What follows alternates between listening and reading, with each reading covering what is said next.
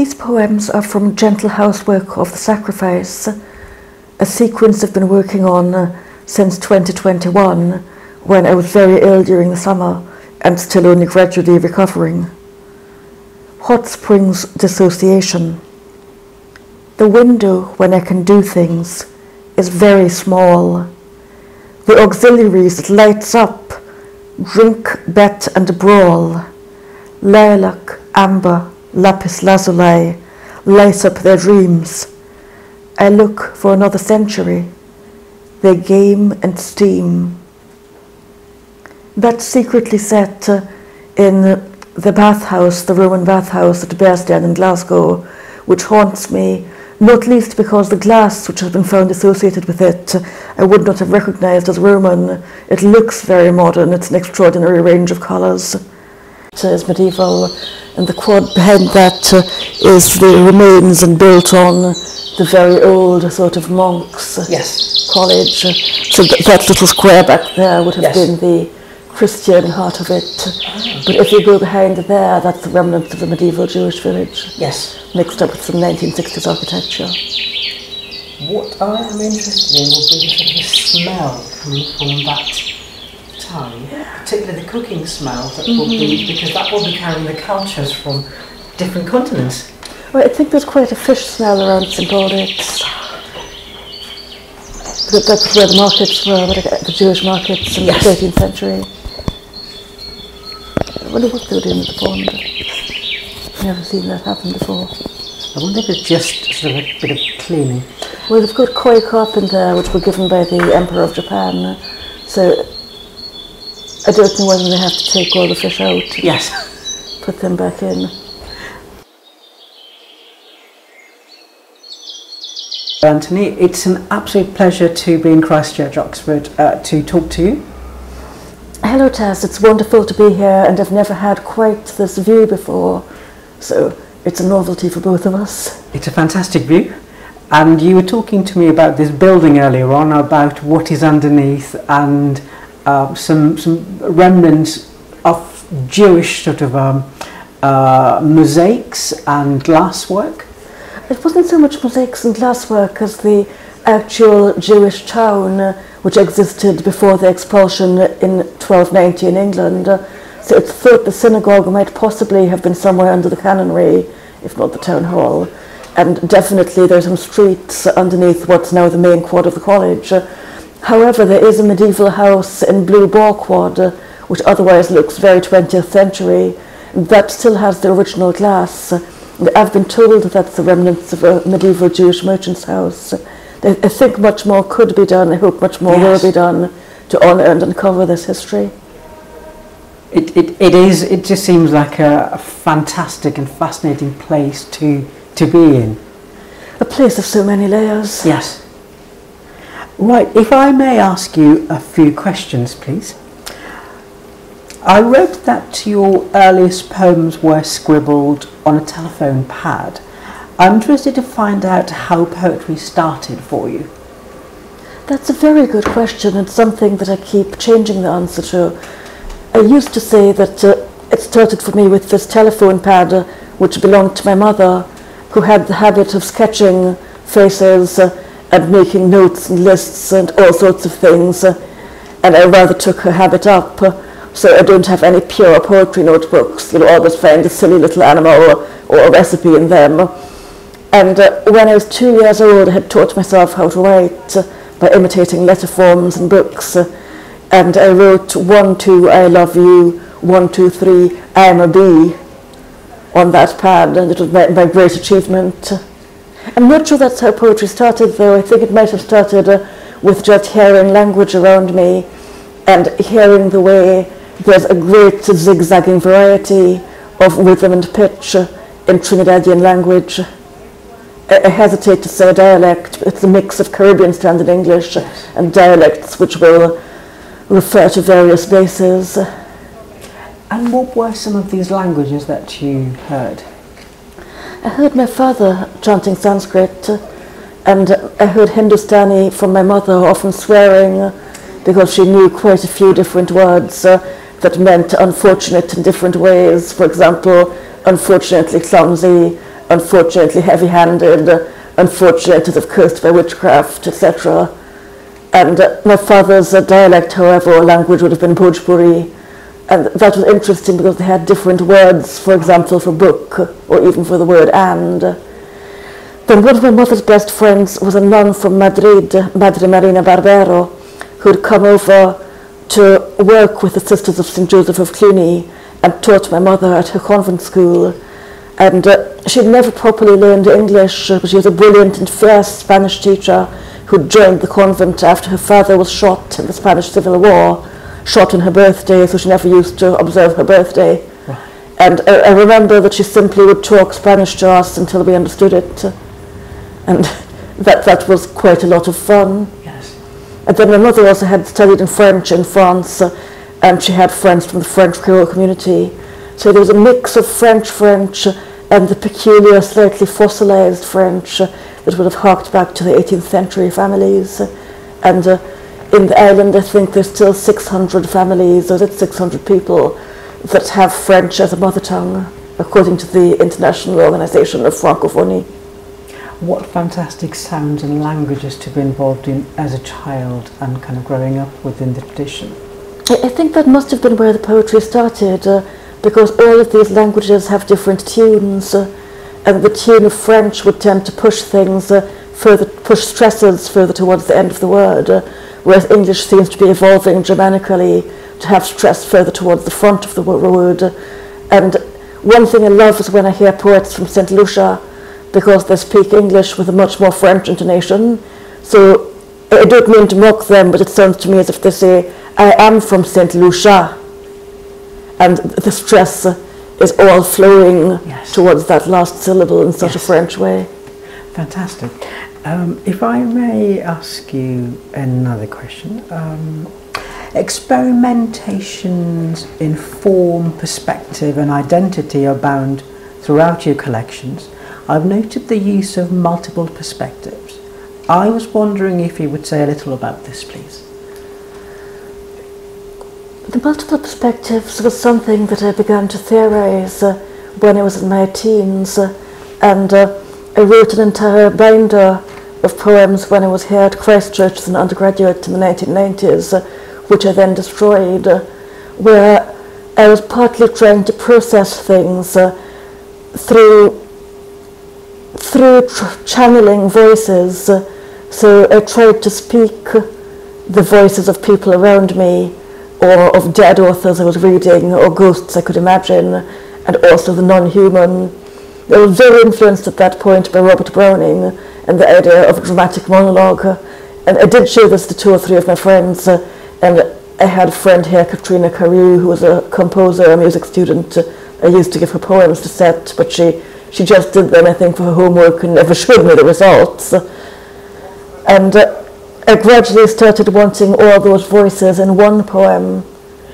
And I'm not sure where that comes from. I wondered at first whether it was from reading epic uh, or quasi-epic like Beowulf, uh, where the perspective shifts around. But more lately I've been wondering if it comes from the split consciousness uh, of growing up in a post-colonial independent nation. And I started wondering this not to do with poetry, but when I was enjoying some horrible comedy, and a friend of mine said, I can't believe that you watch that. It's so racist, so homophobic, it's so transphobic.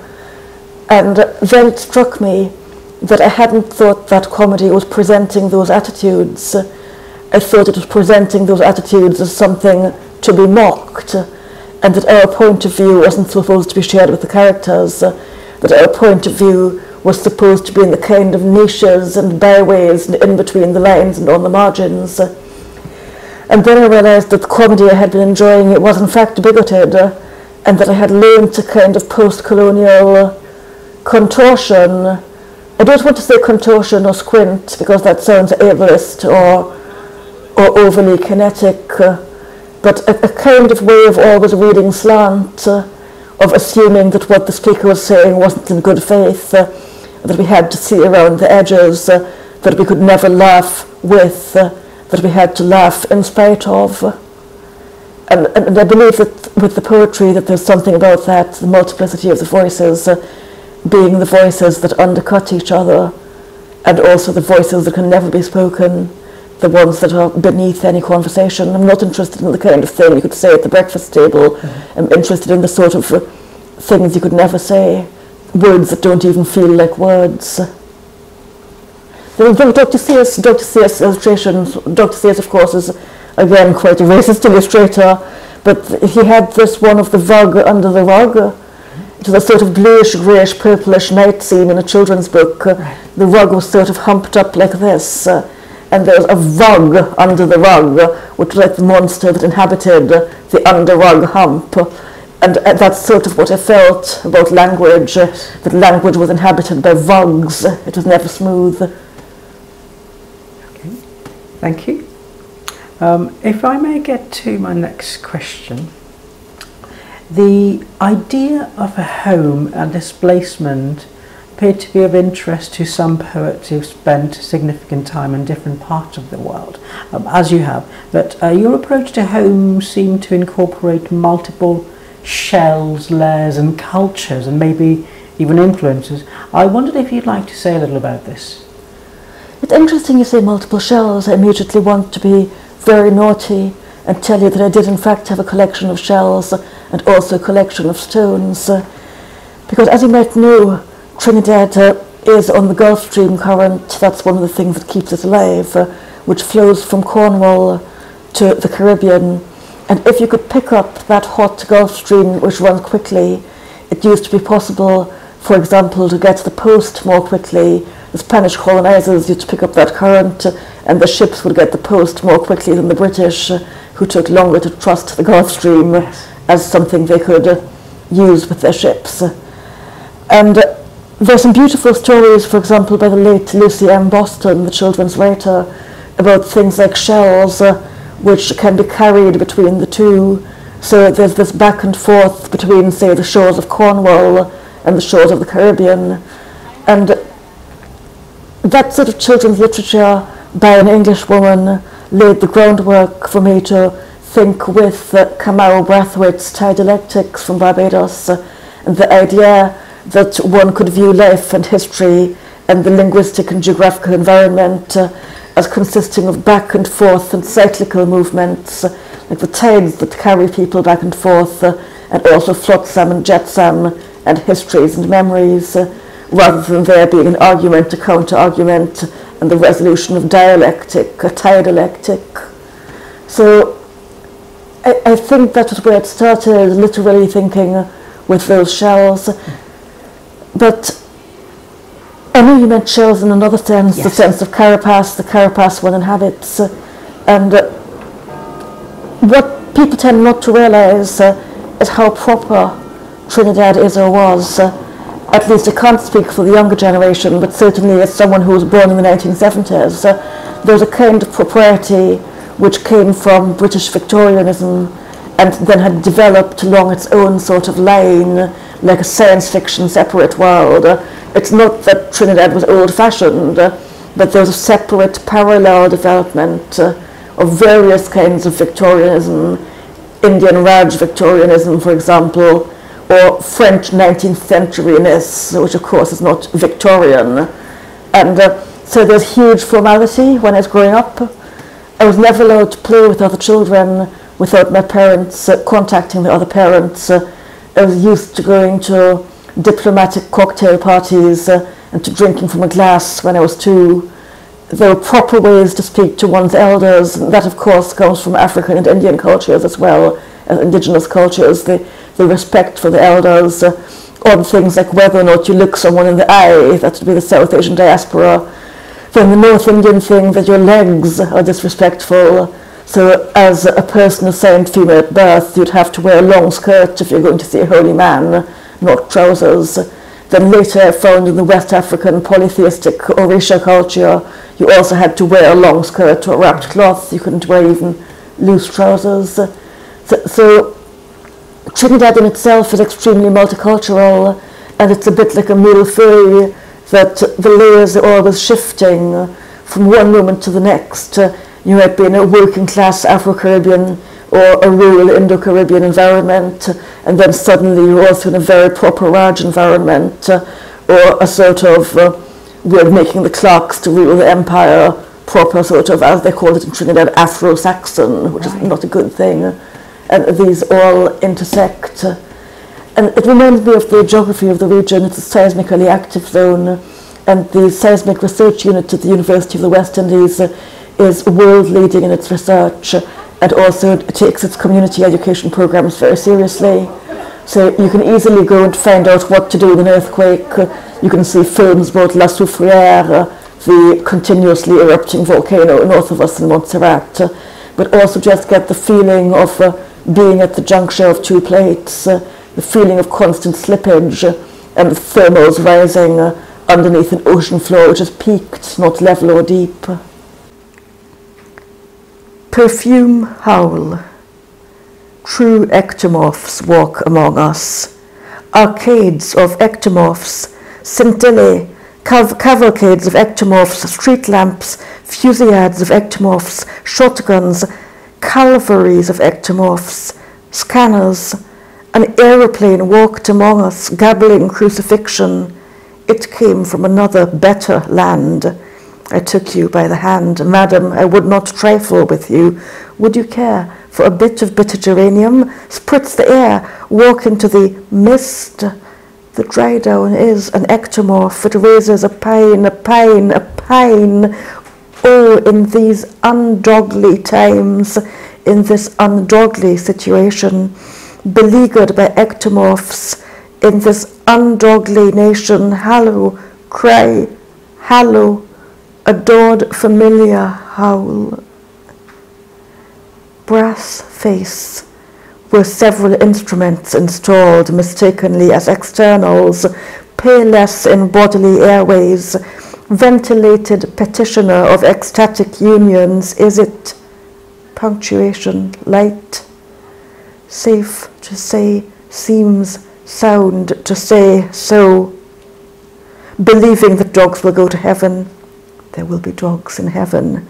Wanting all the dogs in heaven, there will be dogs in heaven. Not leaving enough dogs for other people in heaven, there will be dogs in heaven. Shock is writ in splash. Splash is writ in water, water in a river, river writ in shock and splash and first encounter, encounter, otter, otter and water always the first, as water is always new river, otter, always new otter. I was Charles Causley Poet in Residence uh, in 2022, this year that we're recording, and uh, I was very sorry to see that the otter sanctuary in the River Tamar had been disbanded, uh, although the elderly otters had been either looked after or safely rehomed. But I strongly recommend spending time with otters, the otters of any variety you can meet. I read somewhere about you talking about uh, carnivals and making your art among people. Um, I wonder if you would like to elaborate a little on this. Trinidad is famous for its carnival, but when I came to Oxford as a student, uh, I always said that I didn't know anything about anything. Uh, or I didn't know anything about art because uh, I had one of my very dear friends was a fine artist, Sarah Simblet, uh, and uh, she was extremely well versed in the sort of 17th, 18th, 19th century Western European art and would take me to the Ashmolean Museum and begin to decode that for me. And I didn't realize that my ability to decode uh, the spiritual iconography, for example, of North Indian religious statuary was knowledge. I didn't realize that uh, being able to read landscape was knowledge. And I didn't realize that the ephemeral art of the traditional carnival makers whose costumes might be discarded at the end of a year, or the art of the people who decorated Hindu temples, again, things to be discarded at the end of a religious season or ceremony. I didn't realize that that highly crafted ephemerality was in itself a form of art and a form of knowledge. But one of my formative memories is being two years old and lying on the bed in my mother's room and being asked to close my eyes uh, while she coats my face with Vaseline and glitter and uses lipstick to rouge my face and paint new features on. because she's made a costume together with a professional costume designer, and I'm going to cross the big carnival stage uh, in a partly handmade, partly professional costume. I remember the huge wind whipping up on the stage in the savannah and being told to look at the judges in both stands, look at both sides of the crowd, enjoy yourself, move to the music. But, but learning that the body is something that transforms. And this is why the genius carnival maker Peter Minshall always says don't call it a costume, call it a mas, a masquerade. It's not about something you put on and take off, but about something that temporarily transforms you. Fantastic. If I may ask the next question, which is um, uh, nature and uh, environment tend to be present into, if I may say so, beatably abstract kind of ways in some of your poems. I wonder if you would say something about uh, climate change and what role poetry could play in addressing, or at least uh, raise further consciousness of, uh, of what is going on. Well, one sort of program which I find very hopeful is a sort of program which uh, thoroughly pairs uh, poets or other creative artists with scientists uh, because I believe it's absolutely necessary for genuine experts in their field uh, to be able to be in dialogue with the general public.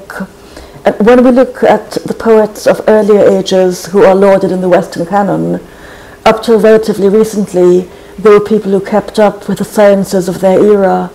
So someone like John Donne or Dante Alighieri would be making use of scientific allusions and philosophical language absolutely up to the minute. Nowadays, poets tend not to do that as much because there's been this great division of cultures, and now, of course, a distrust both of expertise and of the humanities being fostered by the big money which prefers more rule.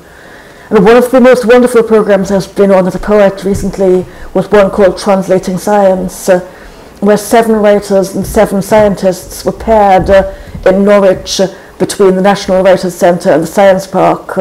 And we had enough time and money to get to know each other and really to get to know each other's ways of working and how we talked about work, how the scientists already engaged the public. I asked my scientist to the soil scientist to all sorts of questions to what was her working environment like and learned these amazing hopeful things about her field work, how she'd been looking for, she'd looking looking for the soil microbiome in areas of Colombia, her native country, which was supposed to have been desertified after the war, and she found those signs of life because the bacteria had evolved to eat explosives. And that sounded fantastic to me and very poetic. And then I asked her, what are some of the best ways to make these places fertile again? apart from the sort of computer data crunching you're doing, she laughed and said, bring little goats to have a pool. And so, as a poet, I immediately realized uh, we could do a sequence of poetry which would please a family audience.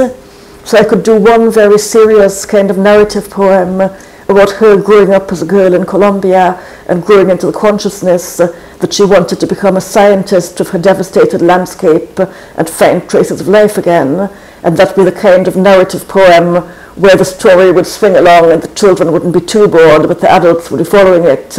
And then I wanted to do a little nursery rhyme about little goats having a poo. And that's the kind of uh, mutual communication which then can be outward turned to a diverse public, which I think could help raise awareness. Because as a poet, I don't think you can really, well, it's in French, prôner, I don't know what it is in English, I can't really preach and drone on about climate change. I'm not a scientist, but I do believe that First Nations people should be the ones who are primarily consulted uh, because uh, I don't see climate change as recent. The absolute catastrophe which is now starting to be experienced by parts of the west and north that are richer, that catastrophe was experienced with colonization of the so-called New World. Uh, forests disappeared, land was leveled, then again, it's not seen in terms of devastation, but it's a huge change which has had a knock-on effect uh, that here in England, uh, places were drained, land was reclaimed. Uh, where I live in Scotland, people are still building high cost housing on land that's been reclaimed, even though the flood map shows that land will be underwater again by 2050. There's a refusal either to add up the long story with the proper knowledge and wisdom of the indigenous peoples who could have so much to say to the rest of the world. A refusal to add that up with the current planning which is going ahead in a completely disconnected ways if there were a global state of derealization.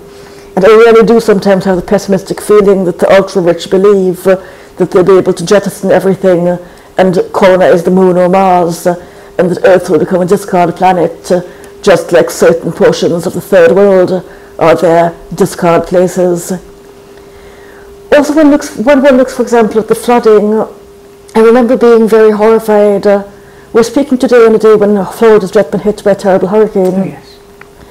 And a friend of mine asked me to play Pray for Florida because I'm a lay Dominican inquirer, so I do a frightful amount of praying every day. But I noticed that my Caribbean friends uh, are asking for relief for Cuba because Cuba's been suffering the terrible blockades, of course, from the US and other countries for so long, and yet they were leading the fight in COVID protection for the region. They've been leading the fight and helping with relief with natural disasters in the region, and now they need help, but nobody's hearing they've been struck. Puerto Rico has been struck. Loretta Collins Klobah, who's a wonderful poet from Puerto Rico who teaches at the university there as a professor and also translates between Spanish and English, has done two entire collections which look at ecofeminism and environmental change. The second one voices the hurricane. So again, there's not really kind of adding up uh, because all these communications have on the same platforms uh, of social media and yet they're arriving at different strands. Uh, the, the strands don't intertwine. The person praying for Florida, the person getting relief for Cuba, the person singing of Puerto Rico, and not in the same digital space, uh, what Kelly Baker Josephs would call the same digital yard. How can we change that?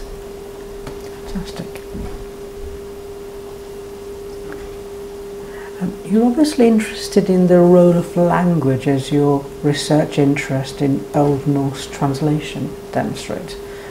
I'm interested in finding out more about how this interest started. It might perhaps, in a negative sense, have started with that sense of uh, not knowing anything about anything. I really had wanted to read music, not English, and although I had quite high distinctions in performance and theory at grade 8, which is the highest grade in the Royal Schools of Music, uh, I couldn't find anyone who'd teach me keyboard harmony and other elements uh, to make it through to undergraduate level. And then when I arrived at Christ Church, they said very generously to me, of course, uh, will change if you want to change. You'll catch up very quickly. We'll make sure you catch up. And then cutting off my nose despite my face where I said, no, no, I can't possibly. I don't know enough music. I don't know. I don't really know anything. And in a way, being able to drill down into the sounds of language, the phonetics, the phonology, the sort of shimmer of language, the connotations of words, the idea of false friends, that words with similar roots, can go down different paths uh, in different languages. You get the good twin and the bad twin, you get the, the, the bizarro universe uh, pairs of words. That is a certain way of working out of a frustrated musicality, I think. That, that any interest I have in language technically does, does go back to music. One of the things I'm loving at the moment with the Dominican friars uh, is learning their Gregorian chant, uh, which uh, I believe uh, some of them think of as uh, being in tune with the natural world and having the sort of flow of the cosmos or the flow of sources of water and so on. I, um, I remember listening to a whole album of, uh, of Russian Orthodox Vespers. Uh, I think this was recorded in the early 2000s. Uh, and I remember being sort of transformed into a different space, which um, for me was kind of like a, uh, experiencing music in a way that wasn't traditionally kind of music as in harmony based, but Yes. based on the sound of words, but obviously uttered in a very spiritual sense, and what you're saying kind of feels very much like, uh, like what I experienced with the uh, with the Russian Vespers. Yes, I think that there's a way in which even if one is anti-spiritual non-spiritual, that, that there's a way that the materiality of that sound uh, is taken seriously and allowed its vibrancy and allowed its uh, dimension and not flattened out, instrumentalized. It, it's the word and the sound together. It's a sort of breathing into the word. And musicality is, of course, something. Whatever I read by you, that is the word that you know, it just that's what I'm left with. That there is an, immense musical feel to your poetry. So now that uh, you're talking about music kind of being your first inspiration, uh, it it almost makes sense uh, to me. That's very interesting because uh, the people who love to hate me usually say that uh, my poems have too many words uh, or that they don't sing. But I often think that's because of an unwillingness to attune the air. Because there is an idea, I believe, among some people, a lyric poem with one identifiable voice, often a reassuring quasi-neutral voice, can guide you through the poem. And I prefer to think of soundscapes that are multiple. So it's not only the perspectives in my poems that are multiple, but just as now in this recording, I hope you don't edit out, uh, there's a sound of rain on stone, yes. uh, the little echoing wind, people walking past uh, some church bells. Similarly, in poems, I never want to edit out all the noise. I always want there to be a certain amount of overtone, vibration, crackle, static, uh, as it were a little bit of bird song. And I also wonder if that's got something to do with an ecological view of poetry, that there should be an ecosystem of sound within a poem, which isn't just to do with an ecosystem of various phonetics or phonologies, but an ecosystem of sounds which can have different sources or references. And, and the willingness to sit with that, the willingness to sit with a kind of complex shimmer of sound, is an, ecolo- an, ecology of interconnectedness and praise rather than one of domination and singularity. Fantastic. And um, who are the poets and writers, uh, or maybe um, other genre creative practitioners um, you have drawn inspiration from? This is going to be a weird segue, but you're probably used to that by now.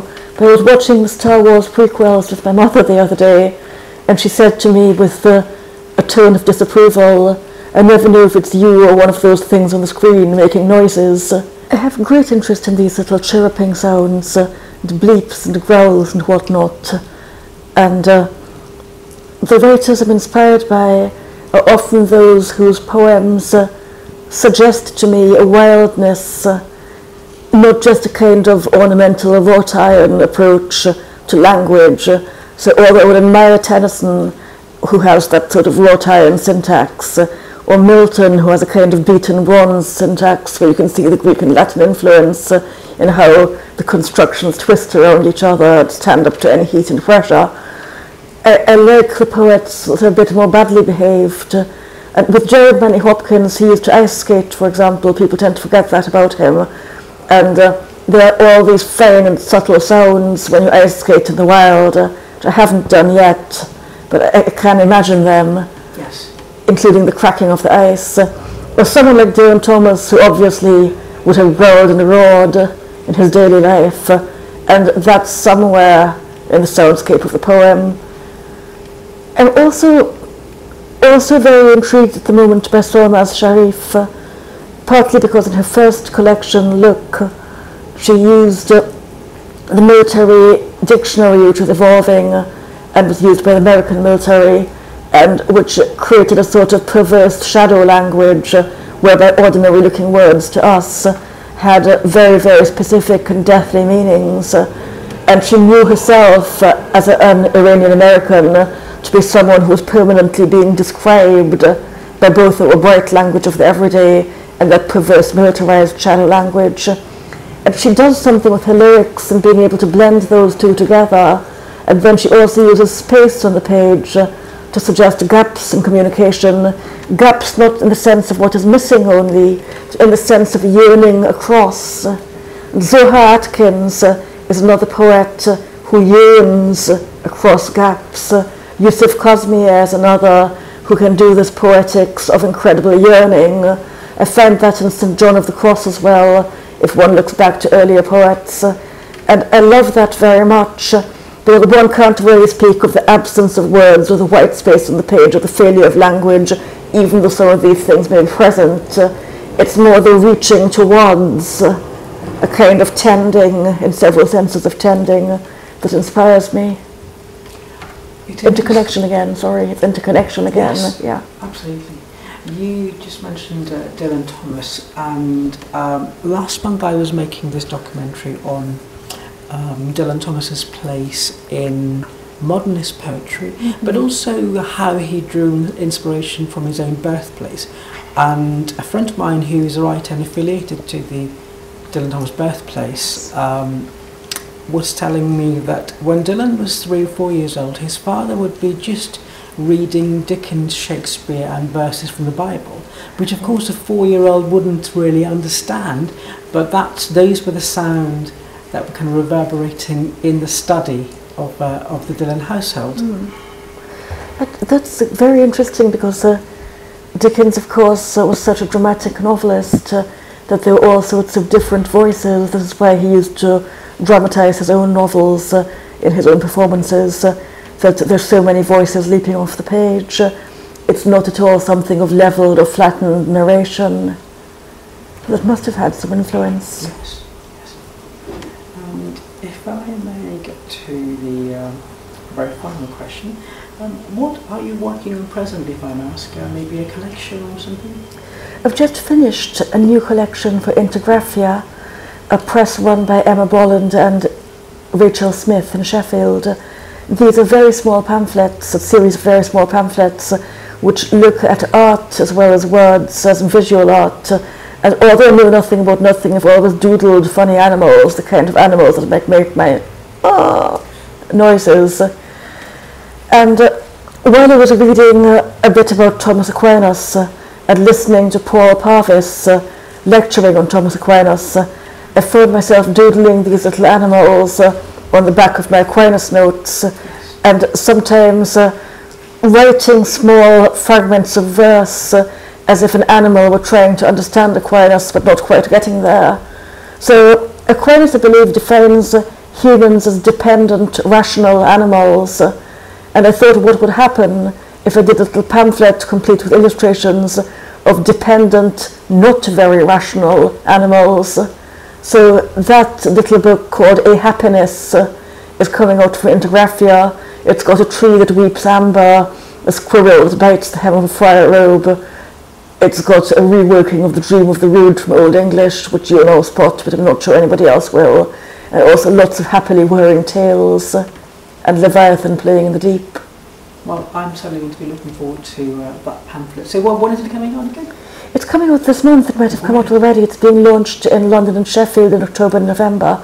And the other thing is uh, I have the huge honour of being one of the University of East Anglia's poets in residence at the archive uh, together with Joelle Taylor, Jay Bernard and Gail McConnell.